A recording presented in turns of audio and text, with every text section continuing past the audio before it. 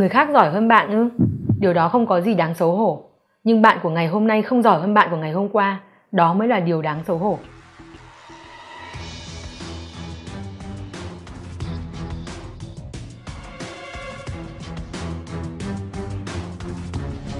Người thành công là người luôn nỗ lực hết mình và tin vào chính mình.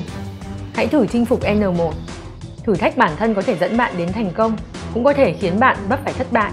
Tuy nhiên, nếu không thử thách bản thân, sẽ không bao giờ thành công.